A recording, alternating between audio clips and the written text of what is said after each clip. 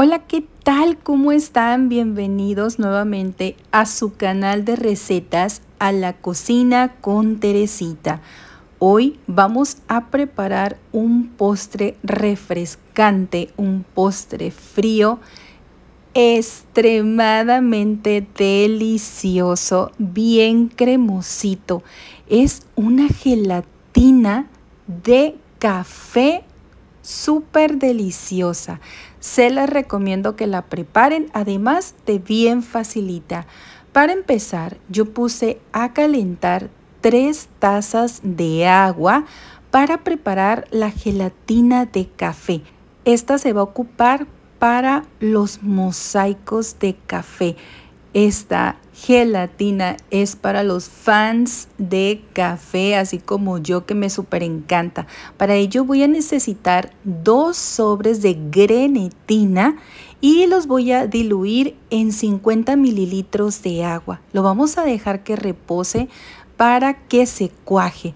Las tres tazas de agua caliente las puse en un recipiente para agregarle cuatro cucharadas soperas de café instantáneo. Este puede ser el de tu preferencia. Voy a revolver muy bien para que se disuelva el café.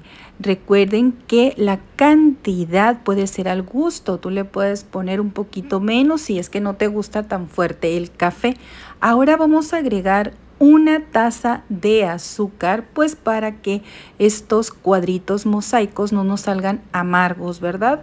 Así que es una taza de azúcar o ya es al gusto, le puedes poner la mitad. Aquí ya cuajó la grenetina, los dos sobrecitos de grenetina. Me lo llevé 10 segundos al microondas y ya nos quedó líquido. Pues lo vamos a agregar aquí en esta mezcla. Revolvemos muy bien y lo vamos a vaciar, verter en un recipiente de preferencia así que esté larguito para que los cuadritos nos queden bien. Dejamos que enfríe a temperatura ambiente para llevarla a refrigerar cuatro horas o de preferencia toda la noche.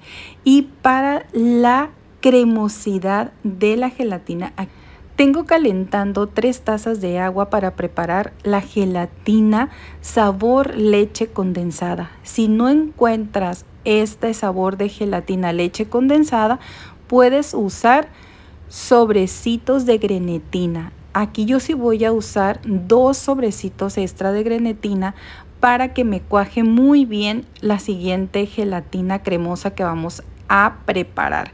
Voy a mezclar muy bien, muy bien y de igual manera la vamos a dejar que enfríe a temperatura ambiente. Y para que me quede más firme, voy a agregar dos sobrecitos de grenetina en 50 mililitros de agua igual que lo hicimos en la primera gelatina. Aquí no se vio bien porque el tripié que tengo me salió muy grande y mi cocina es pequeña, así es que Estoy batallando un poquito, pero pues ahí nos acomodamos. Mi cocinita estaba bien pequeñita, pero bien limpiecita. Y voy a dejar a que se cuaje igual que la otra. El mismo procedimiento, aquí ya me cuajó, la llevo 10 segundos, si no se te aguadea le pones otros 10 segundos, ya como les digo, ya hay que estar checando, ¿verdad? Ahí está, miren, Ahora vamos a preparar la gelatina de café cremosa. En la licuadora voy a verter la gelatina sabor leche condensada. De verdad que esta gelatina está riquísima, se la recomiendo también. Le voy a agregar para que nos salga más cremosita 250 mililitros de leche evaporada y una media crema. Esto es para que nos salga más sabrosa y más cremosita. Le voy a agregar dos cucharadas soperas de café. Aquí sí son dos para que no nos salga tan café, solamente es un toquecito y le agregué los dos sobrecitos de grenetina ya hidratados. Me voy a poner a licuarlos muy muy bien, que se revuelvan, se integren muy bien los ingredientes. Aquí yo tengo un molde y lo voy a engrasar con aceite de cocina para que nos facilite bien bien el desmoldeado de esta gelatina.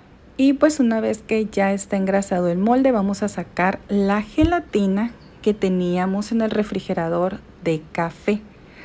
Vamos a partirla en cubitos. Igual manera, los cubitos mosaicos pueden ser de la medida que tú quieras, grandotes, medianos, chiquititos, como a ti te gusten.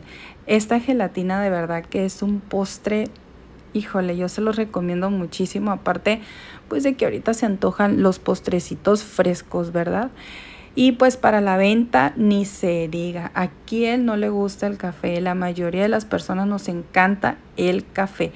Y aquí ya miren, estoy despegando la gelatina, los cubitos están despegando y quedó bien deliciosa esta gelatina, la verdad.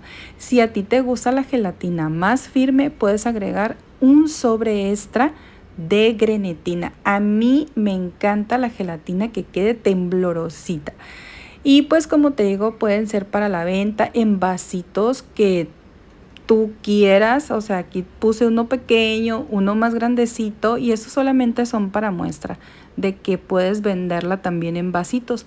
Aquí yo ya puse la gelatina de café, la de mosaico en el molde y ahora le voy a agregar la mezcla de la gelatina cremosita que quedó súper deliciosa.